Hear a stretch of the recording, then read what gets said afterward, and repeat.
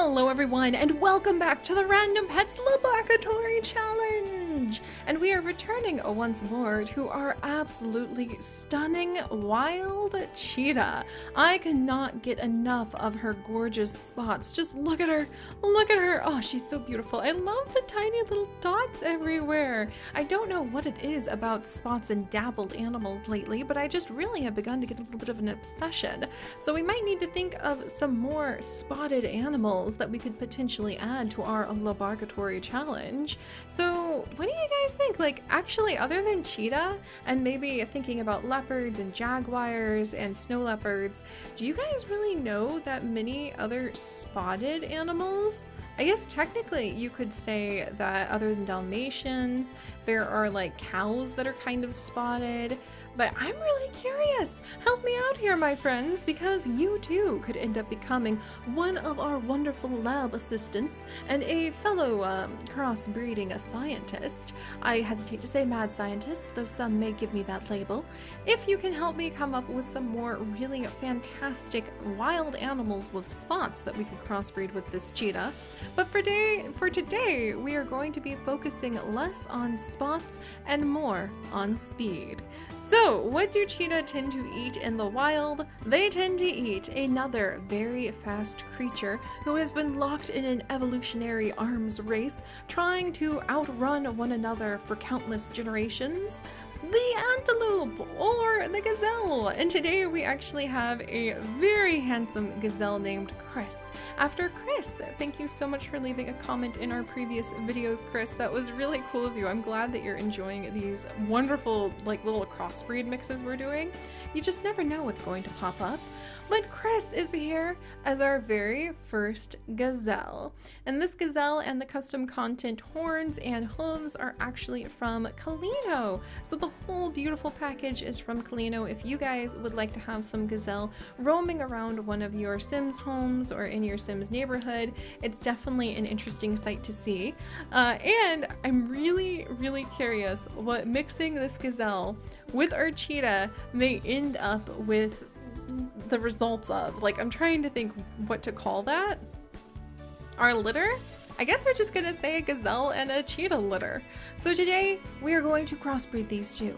Although in real life they are mortal like enemies, or really the gazelle is more concerned that the cheetah is its mortal enemy. Cheetahs primarily eat these smaller, faster antelope gazelles.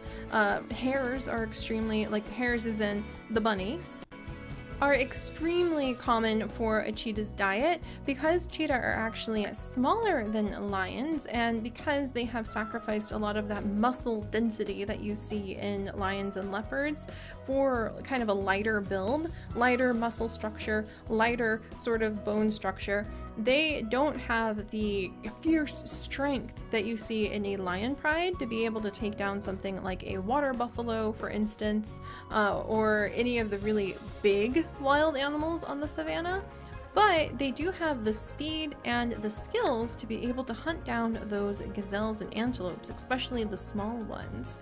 They also don't really hide their food, so like leopards might take down something a little bigger like a antelope of some kind and then drag it up into a tree. But cheetah don't drag their food up into trees, at least to my knowledge, mostly because usually their food is stolen from them. Cheetahs, because they are one of the smaller animals of the predators on the wild savanna, will often end up with their kills being stolen from them by hyena, by lions, by basically anything that comes along. They're pretty skittish, so they would rather just live to see another day and run for it. So why don't we see if we can combine the speed of our wild cheetah and Chris the gazelle and end up with something faster than both of them. So you guys ready? This is gonna be pretty interesting. I think that this, I'm not really sure how this love story works. I'm really not sure how this love story works. I think maybe we have just a very shy cheetah and there's something kind of skittish, but also somewhat, um, how do I put it? Like, I bet this particular gazelle Chris here, comes across with a very forceful personality. Because if you've ever startled a deer that decides not to run away from you, which I have done several times, sometimes they'll just turn and stare at you and stomp their hoof, and you're like, uh-oh. And I think that's what Chris does. He's really startled, but he forgets to run, so he does his best to act tough. And that tough act actually won over our lovely cheetah, Antisha. So let me go ahead and, uh, Antisha, what a lovely name. You're going to be our new wild cheetah. Let me go ahead and change cheetah. There we go. And welcome to our lab. So let's go ahead and see what kind of babies you two would have. Um, holy cow. The very first one picked. You guys, hang on. This is way, way, way too ironic. But let's have Antisha the cheetah and Chris the the startled but forgets to run so he comes off as really a fierce gazelle. Their first baby is a gazelle! A little, little gazelle baby. Oh my gosh. And this one's actually going to be Trashy Panda of all names. But Trashy Panda this is the ultimate irony, because the comment from the random comment picker that just popped up says, could you crossbreed a cheetah and a gazelle? And I swear to you I have not seen your comment until this moment, but how freaking ironic that the very first crossbreed of a cheetah and a gazelle that we got ends up being you. Who suggested that? That that just blows my mind. You have you could like go look outside today. You might find a four-leaf clover. Like that's absolutely ridiculous. Oh my gosh. So you are definitely a very special addition. Let's go ahead and see what you have to offer. You are a adventurous hunter who is a troublemaker. So you definitely take more after your cheetah parent, though I'm beginning to think that actually Chris is a little bit of a troublemaker in his own way. But Trashy Panda, welcome, welcome. We will have to wait to see if you inherit your father's horns and hooves when you grow up. That is so ironic. Go look for all of the luck, my friend. All right, let's pull up the next name and let's go ahead. Antisha. What a beautiful name. Oh my gosh. And Chris. a demon-eyed gazelle. Oh my gosh, and look at that tail a demon-eyed gazelle with a long tail, and this is actually going to be Serenity. So Serenity, I have to admit, so far it doesn't look like you're living up to the name. Uh, Serenity is also a really beautiful name. and oh my gosh, you um, you definitely, you do have a little bit of irony going on there with the eyes. Oh, you can't a wool, so let's roll again. You are a couch potato who is jumpy, and you are aggressive. That amuses me. So I think that you're actually, look at that, taken after the cheetah. That is so cool. All right, let's go ahead and see the next one. So far, we're having like a whole gazelle herd, which is pretty interesting. I wonder if Antisha just might feel like, this is my family now. All right, and the next one? Another gazelle! Holy cow! We're just building our own herd. What is this, the Niche Stampede Challenge? What is going on here? May I introduce all of you to Ken Flufu. Ken Flufu, thank you so much for leaving a comment on our previous videos. And of course, guys, if you don't know by now, when you should probably know by now, if you would like to become one of our animals in our the random Laboratory challenge, there we go, then all you need to do is leave a comment. I put the comments into a random comment picker, and then the random comment picker will choose your name. All right, let's go ahead and see what you are, Kinflufu. You are a troublemaker who is jumpy and independent. So we're getting quite the interesting gazelle herd out of this crossbreed so far. Let me go ahead and get the next name. And now we have cheetah and gazelle. Still the gazelles! This is so interesting. Last time we had a cheetah and a Dalmatian mix, it was almost all cheetah. So almost all cheetah colorings, and this time we really are just making our own herd. I feel like Chris is like, yes, these children will have fangs. They will be able to protect us. We will build a herd that no one will mess with. So Chris, you are quite the troublemaker, starting some interesting things.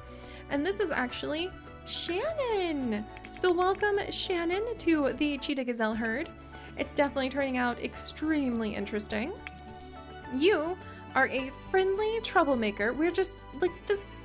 Can you just imagine this? What is this, like our Wildcraft Adventures too? There's just a troublemaking herd of gazelle cheetah crossbreeds roaming through the savannah. This is hilarious. I, I can't believe this. And you're also a sleuth? So what is going on here? Are we just gonna end up with an entire herd of troublemakers? Troublemaker, aggressive, troublemaker, troublemaker. we just might. Wow. Chris, what is in your genes? Oh, this is a beautiful cheetah crossbreed. Oh my gosh. All right. we ended up with a cheetah. I think Antisha is probably a little relieved. Oh my goodness. All right, so now we actually have the beautiful, beautiful puppy. So a cheetah named Puppy. Huh. but that's after, after Puppy Patna. Thank you so much for leaving your comment. I hope you have a nice week too. I'm so glad you're enjoying our adventures, and I think a crossbreed with a panda is definitely something we need to have on our list for upcoming adventures. Let's go ahead and see what Puppy ends up having for traits. And we now have a jumpy, vocal, adventurous little cheetah. I'm so relieved that we have at least one that looks like a cheetah, but we do have basically an antelope herd now. All right, and last one, let me go ahead and pull up the name. We're gonna go ahead and add. Dun dun dun dun dun dun. Are you guys ready? Are we going to end up with another cheetah cub or will this be a gazelle? Chris? Demon cheetah cub! Hi, little one! And this is actually Sarah. So Sarah, thank you so much for your sweet comment. You are now added in as a troublemaker. of course, I think we do have basically a troublemaking herd of gazelle. and it just occurred to me the cheetah might inherit those horns. What? So we have an energetic, active, troublemaking uh, gazelle herd. Pretty excited to see how this mix is going to go. Let's look over all the babies again. We've got some really ridiculously cute babies who very much look like gazelles. And we need to see if they're going to grow up and inherit their father's horns. So, Trashy Panda, it, is it going to continue to be your lucky day? Let's go ahead and see. Whoa! That's a cheetah head on a gazelle body! And you did indeed end up inheriting those horns, but not the hooves, my friend, which may or may not allow you to run even faster. That is so cool. Let's go ahead and find the horns really quick. And there we go. Oh, wow. Okay, Trashy Panda, that's amazing. Okay, that's... I think that this may be an animal who might be able to defend itself. A little bit of a, our troublemaking gazelle herd going on here. Let's see who else we get up with. So we have Cheetah Head, Gazelle Body, Serenity. Serenity, my jaw hit the floor. You very much did not look like what I thought you were going to look like. You, you're, you're, I really hope you end up with some horns. But I think that this might, oh, we didn't end up with any horns or hooves. So this is a, um, a hornless cheetah antelope. Serenity, I think, I'm, I'm not sure what I think here. I think that you kind of remind me a little bit of a llama. That's my default for when things get really long necks and tiny heads and I, I really kind of have to squint and think about what we've done with ourselves. But I, I, I'm intrigued. This is, a, she's aggressive. So just when you think that there, oh, there's no horns, that's going to be my lunch, uh, you're going to be in for a bit of a nasty surprise right there, that's for sure. All right, all right, Serenity. I see how it is. King Flufu, you're adorable. This is why I love these challenges! You never know what you might end up with! Oh my gosh! And King Flufu of the giant ears and the cheetah head has now inherited, are you guys ready for this? Both the horns and the hooves. So let's go ahead and get both of those in and see how that looks all together. Let's see, there we go. That's looking awesome. King Flufu, who is also a bit of a troublemaker, we just have this troublemaking herd of, of babies roaming the land. Like, like, these, I mean, look at this tiny little tail.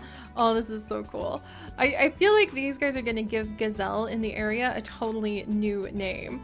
All right, Shannon, what are you gonna grow up into? I mean, look at look at this face. I love those ears. Those ears are gonna hear everything. Shannon? Shannon! Look at that tail! Shannon ended up being a long-tailed gazelle. We've actually had a couple of them now that I think about it, but she has like a little golden tail. Oh, she's pretty cute. She's also a troublemaker, and she also inherited both the horns and the hooves. So yeah, they're gonna start quite the new kind of herd in the area. Everybody better be ready. Let's come down, add in those hooves. Look at that. I think they're going to be able to protect their dad. I think that Chris is going to be like, that was the best decision that I accidentally made just because I forgot to run ever. Now I have this pack, this little, he's got his own little herd that will be able to go around with him. And every time someone tries to eat him, they're going to like run into these cheetah gazelles. This is fantastic. Alright, and then now that all of our little gazelles are done growing up, are we going to end up with some horned cheetahs? Puppy the cheetah, let's go ahead and grow you up.